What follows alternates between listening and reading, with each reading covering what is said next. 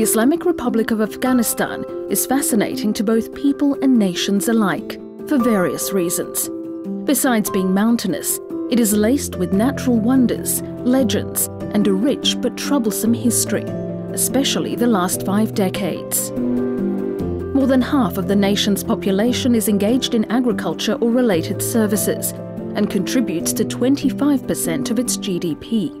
The country saw a growth of 2.6% in 2016, despite 40% of it being under the control of armed opposition groups.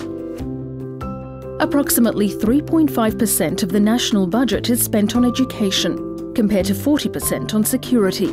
In spite of limited funding, many communities and provinces like Bamyan, in cooperation with the Ministry of Education, have taken a bold stand to further the cause of progress in the field of education.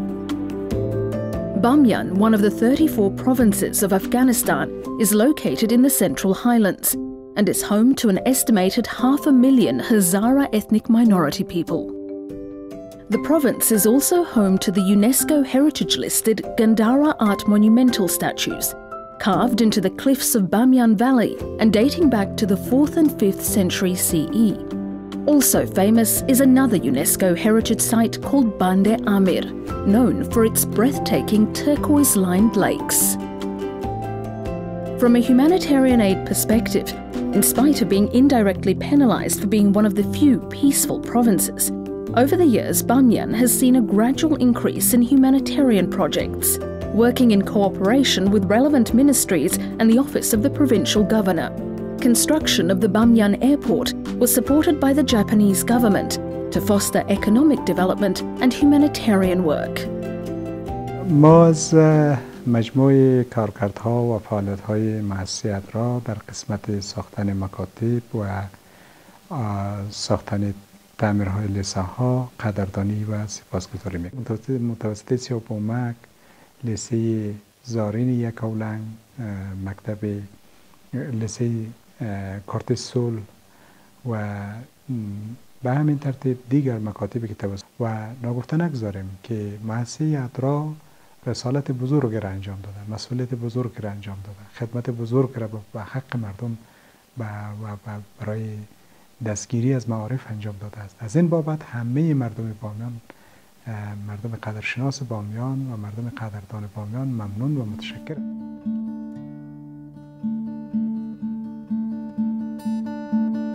ADRA began working in Afghanistan providing relief services in 2002. The first decade of 2000 witnessed very low rates of literacy for girls. It stood at around 15%. To bolster these rates between 2011 and 2017, with generous funding from the Japanese platform, 19 schools were built, of which 17 were built in Bamyan alone.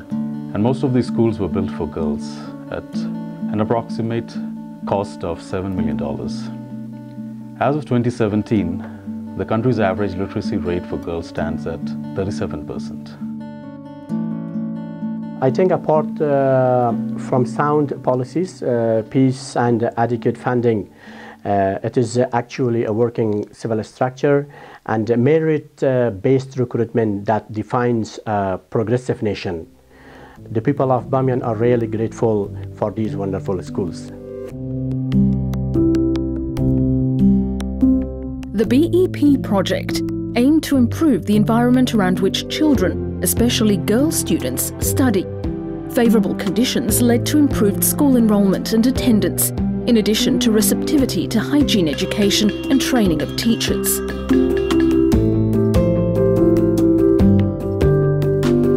School construction quality and the materials used were in accordance with national standards set by the Ministry of Education. Let's hear what these schools mean to children, teachers and other stakeholders. البته یک چیز در قسمت مکاتب اعمال شده باید بگوییم که تجهیزاتی که در اونجا در نظر گرفته شده ضرورت های مشخص و حاد مکاتب در نظر گرفته این است که ما 60 مکتب همین لحظه که با شما صحبت می‌کنیم بدون تعمیر است و تعداد زیاد از اطفال از این مردم چی از ذکور و چی از اوناس در فضای باز درس می‌خوانند حتی ریاست معارف نتانسته که خیمه برای ذات تهیه بکنه که در خیمه بخوانند. دولت ژاپن در این قسمت همکاری بکنن همونطوری که همکاری های قبلی داشتن باز هم همکاری بکنن از طریق میم در قسمت کوالیتی یا پروژه که واقعا ما در اواخیر توانستیم که همکاری خوبی اینا را در عملا ببینیم. در سطح بامیان مثلا بامیان توانستن که از لحاظ کیفیت و از لحاظ ما در همه موارد چی از لحاظ تکنیکیش مرحله کاریشان ریاست معارف که عملا در ساحه هستن با یک انجینر از طریق خود استخدام شدن اینا همیشه 24 ساعت اگر بگم حتی بالاتر از هم همیشه نظارت دارند از همه مواردشان. تقریبا کل شاگردای ما تعداد 1250 نفر می‌رسه که از 1250 نفر 100 نفر 150 نفر ذکور است متبقی طبقه نسوان می باشد دیگه مکتب ما را که مؤسسه محترم را جور کردن ده سنف درسی داره چهار اتاق اداری داره سنف کامپیوتر داریم ما اتاق لابراتوار داریم بسیار مکتب مجهز ساخته با میز چوکی تکمیل تعداد پرسنل ما در مکتب. 33 نفر است که 33 نفر 13 نفرش طبقه ذکور است و متبقی طبقه نسوان می باشد در زمان گذشته دیگه دو تعمیر کنه بودیم که بسیار در مشکلات مواجه بودیم که سنفی درسی نداشت زیر خیمه بود شاگردان و تاقایش هم دروازه و کلکی نداشت در حال فرو رختن بود. بسیار مشکلات مواجه همین شاگردای مکتب ده پنج, پنج مسجد درس می‌خواند. که علاقه مردم بسیار کم بود. وقتی که امی تعمیر جدید به همکاری مؤسسه ادرا ساخته شد این علاقه شاگردان نسبت به مکتب زیادتر شد یعنی غیر حاضری کم شد. علاقه مردم دمی مکتب و درس و تعلیم تربیه زیاد شده. ای کاش در منطقه ما یک کارت زمستانی می بود. ای کاش در مکتب ما کامپیوتر می بود. ای کاش در مکتب از ما برق می بود ای کاش می شده که همین ماش معلمین یا ماش معارف و مخبره همه وقت که در وقت کار می On completion of construction, training was provided to administration staff of these schools and to parent shura. The training included how to maintain and repair classroom doors, windows, water supply systems, and more.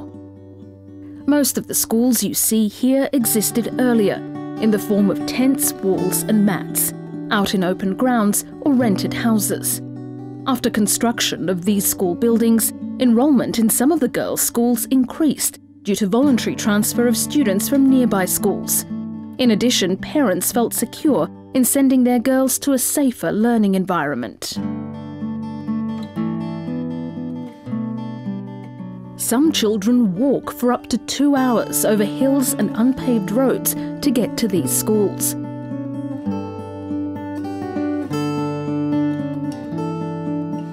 This is Farhana, who is just eight.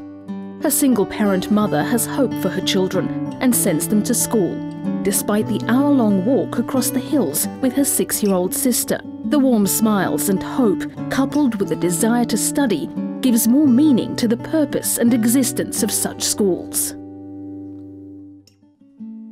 The children of Sare Sadbarg School would like to say two words of thankfulness to the people of Japan for supporting the existence of their school, which means a lot to them and to us.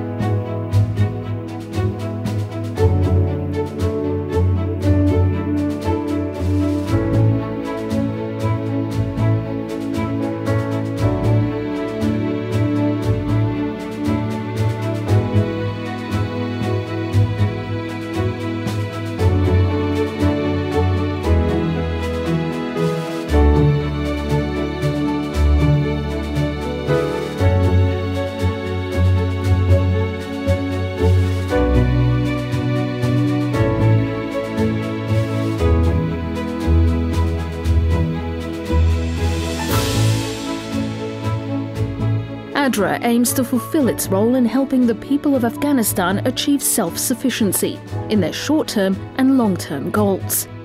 Long term goals are related to education, food security, and self sufficiency in renewable energy, whereas short term goals relate to relief and rehabilitation of IDPs and returnees.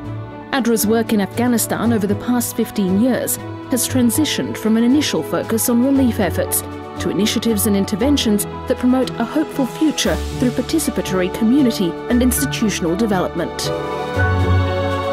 ADRA in Afghanistan will continue to support and empower individuals and communities in education, livelihood, economic development, and capacity building without reference to ethnic, political, or religious affiliation. Thank you.